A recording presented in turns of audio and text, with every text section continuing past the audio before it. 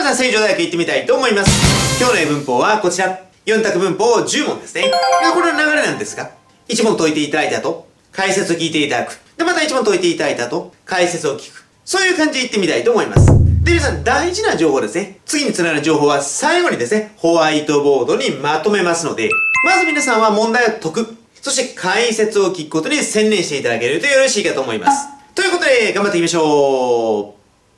サムさん、説問の指示の一読をお願いします。ナムさん、問いの一番よろしくお願いします。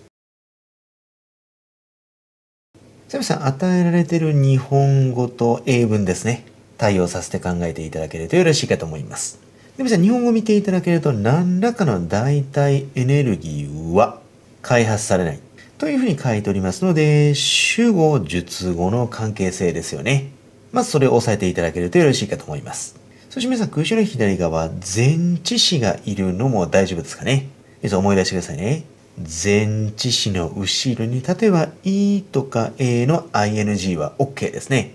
前置の後ろですから名詞。で、なおかつ動詞が絡んでおりますので、名前は動名詞と呼んでましたね。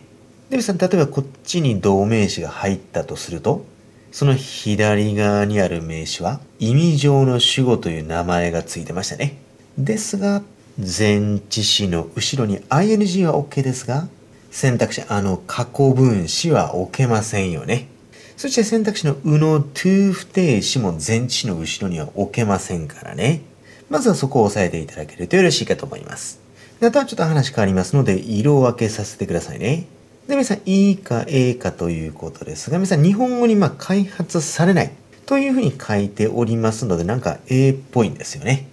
ただ皆さん、いつも通りでいくと、皆さん、develop。開発したよ。なにょということですので、皆さん、他動詞ですね。で、じゃあ皆さん、空詞の右側、目的語がいますか？と言われたら、皆さん見ての通り、前置詞プラス名詞でございますので、M。つまり他動詞の後ろに目的語がないんですよね。ですから他動詞の後ろに目的語がなければ受動体にすればよろしかったですね。ですから選択肢の A が正解ですね。ですからやっぱり皆さん前置詞の後ろに ing、動名詞でよろしかったですね。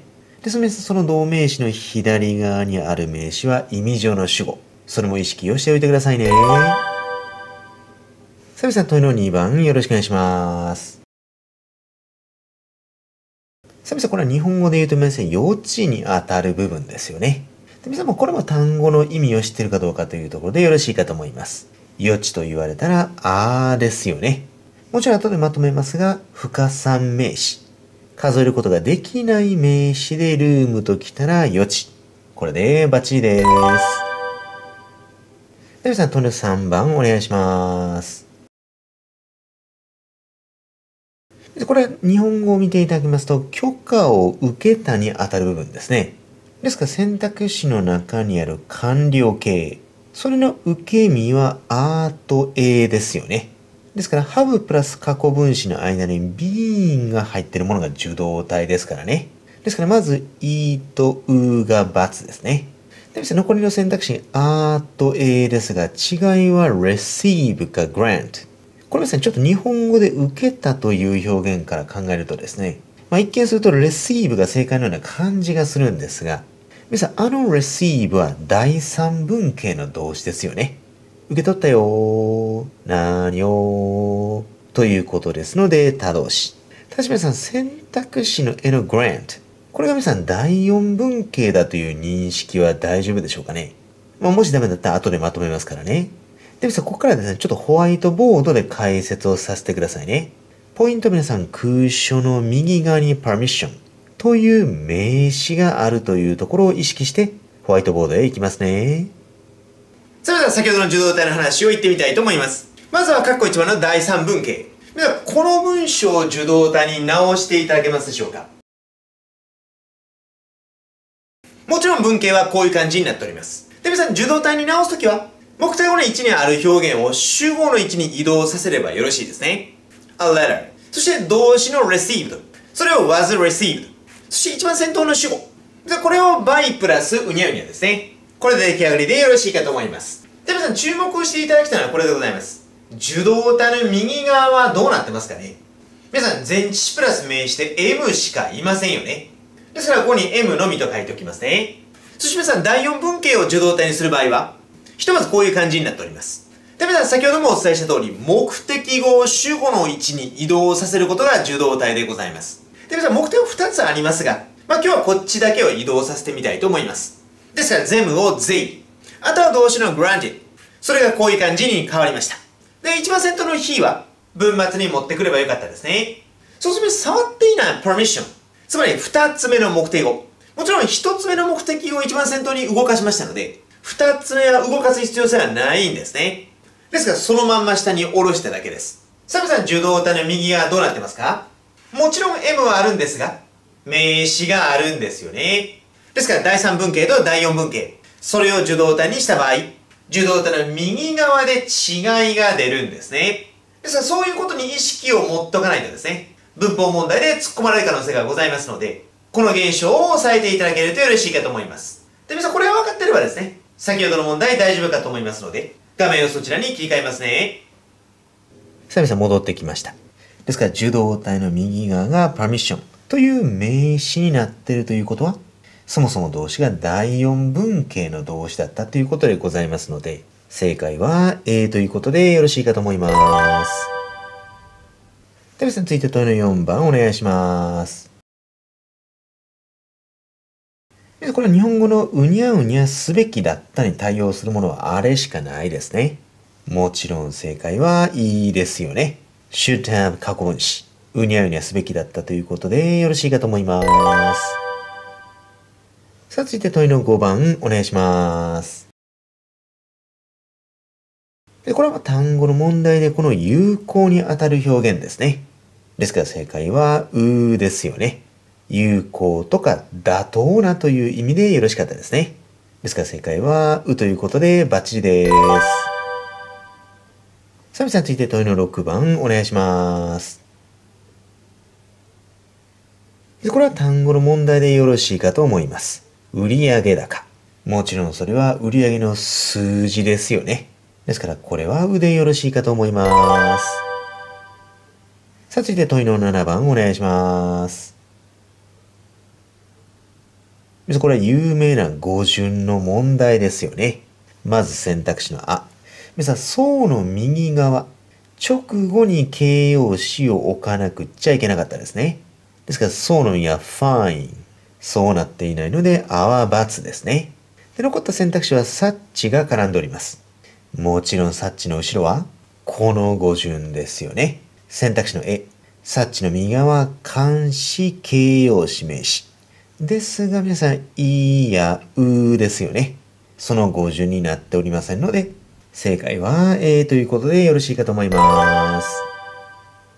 さあ、続いて問いの8番お願いします。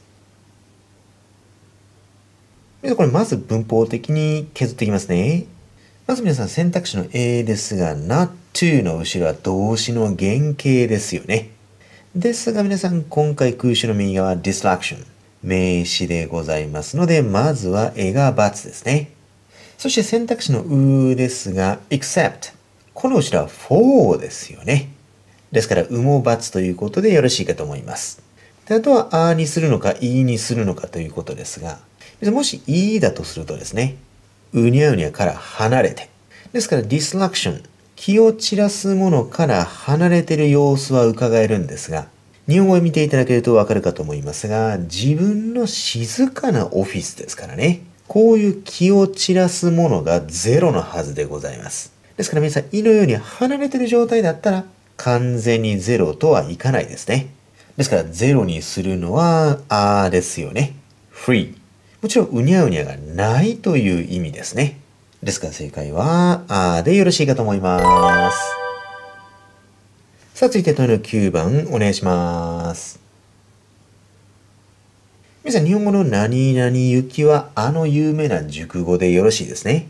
ですから正解は、あーでよろしいかと思います。で、皆さん、問いの10番、お願いします。これも比較のあの定番表現でいけそうですね。うにゃうにゃもう、つまりたくさん持ってるわけですから、もちろん正解はいいですよね。で、うのノーモアザンがうにゃうにゃしかない。わずか点点点ですね。で、皆さん、えのノットモアザン。これが多くとも。で、あのノットレッサン。少なくとも。その違い分かってるかどうかを試す問題でしたね。ですから、いが正解ということでよろしいかと思います。さあ皆さんお疲れ様でございました。先ほど確認した問題の中で、次につながる情報をまとめてみました。まずは1番目。前置の後ろにうにゃうにゃ置けない。という不定詞は置けませんからね。でこれ意外と意識されてない方ですね。多いはずでございますので、よろしくお願いします。そして2番目、オブプラス名詞プラス ing。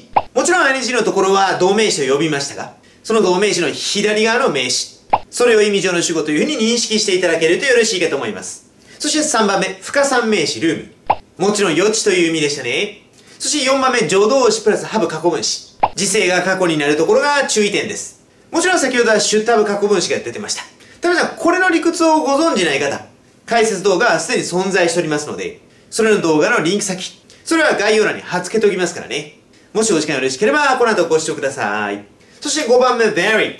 品種は形容詞だという意識はありますか？もちろん意味は有効なとか妥当なということでよろしいかと思います。そして6番目、売上高は sales figures。そして7番目、サッチの層の語順に注意でしたね。1つ目、サッチの右側は、あ、プラス形容詞プラス名詞。そして2つ目、層の右側は形容詞が先頭に来ますからね。そして8番目、フリーフロン。皆さんこのフリーを自由って訳さないでくださいね。もちろんうにゃうにゃがないという意味ですからね。ですから自由というふうに押さえている方いらっしゃると思いますが、それは束縛がないという状況でございます。